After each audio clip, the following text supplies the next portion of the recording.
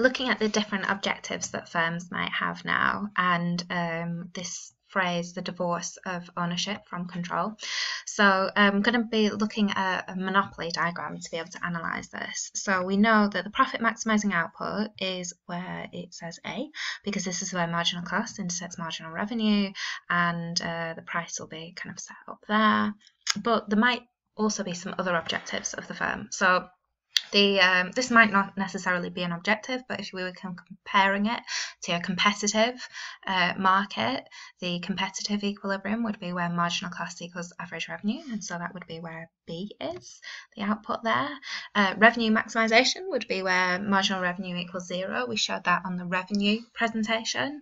And then sales maximization would be where average cost equals average revenue. So this is where you can sell the most without making a loss. Um, units of output that is. So in terms of profit maximizing, most firms will be aiming for this and this is where marginal revenue is marginal cost. However, it is quite difficult for firms to work out this level. Now you might think, well that's ridiculous, firms will understand their costs, but costs are actually um, a really quite complicated thing and uh, especially if firms are uh, big companies that are making multiple products, it's really sometimes hard to attribute certain costs to a certain product. Um, and then having to work out the marginal cost as well would be very difficult. Um, firms also might not produce at this point because they may be willing to forego profits in the short run to gain profits in the long run. So what they might want to do is gain market share. So we'll have a look at that in a second.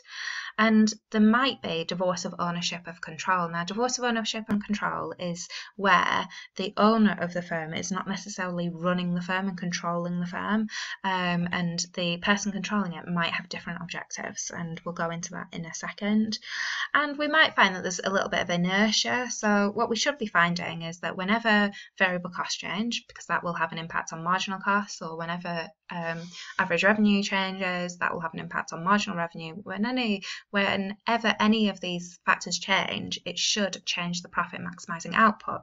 But we might find that that's not really happening and prices aren't changing as often as they should, really should be, um, just because it takes time for firms to make decisions and then there's lots of costs involved and uh, changing the prices. So it might just be more um, cost effective for them to not change prices every day or every hour. Um, so sales revenue maximization, this was a marginal revenue equals zero. So what you might want to do is gain market share in a new market and then build, uh, you know, and do that by entering with like a relatively low price compared to what you're going to sell the price, uh, the product for um, in the long run. But you by doing this, you you can build brand loyalty before increasing the price. And lots of firms do this when they bring out new products. And in business studies, we call this penetration pricing because you enter the market with a low price and then slowly increase it.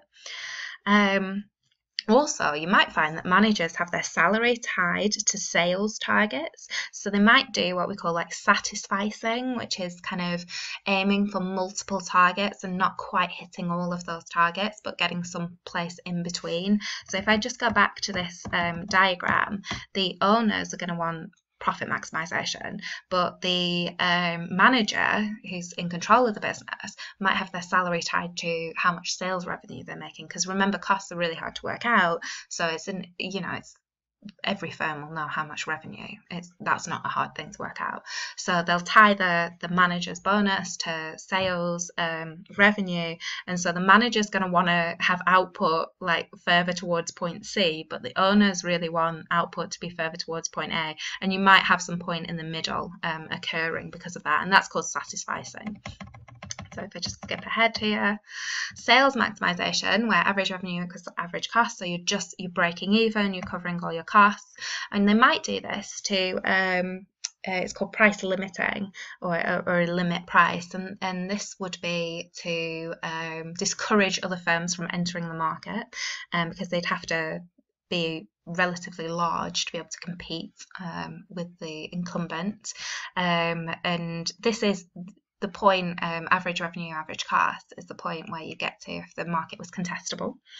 Um, or it might be a predatory pricing um, strategy which would be anti-competitive and illegal where you're trying to force out other competitors who you know don't have um, the economies of scale that you have so can't get their price down to that level so that's going through all of those objectives there. Just the only thing that I didn't write down that I was just kind of talking through was the satisficing principle. So make sure um, you understand that. It's like trying to kind of um, hit multiple targets at the same time um, and just trying to kind of like satisfy um, them rather than like achieve them.